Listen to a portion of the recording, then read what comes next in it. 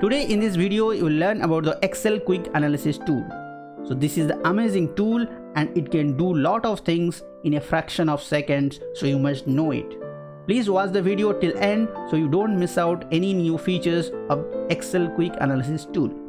Please subscribe the channel if you are new to the channel and in case if you have any suggestions please let us know in the comment section below. So let's start about the Excel quick analysis tool in simple example so that it can be easy for your understanding. First you need to select the data. Then on the bottom right bottom right you can find quick analysis.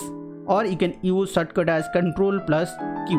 Once you have selected the data you can click on this icon and you have lot of features you can do in a fraction of seconds for example you can do color scale you can do greater than and you can see the examples how it is working. You can click on charts and you can see the preview. If you are happy with that you can click that and it will be inserted in the next sheet. For one for example you want the total. So for example in the down or average or count or sum anything you can do at a fraction of seconds.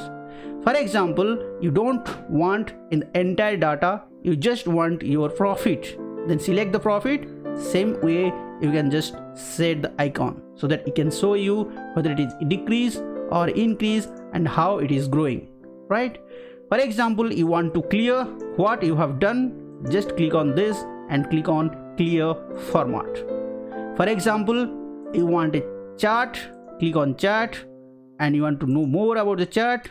Just select the way you want and click ok. Your chart is ready. Just a fraction of seconds and you can do the lot of modifications based on your requirements. So this is the simple example of quick analysis in excel. Please subscribe for more useful videos and let us know your feedbacks in the comment section below. Please subscribe for more useful videos. Thanks for watching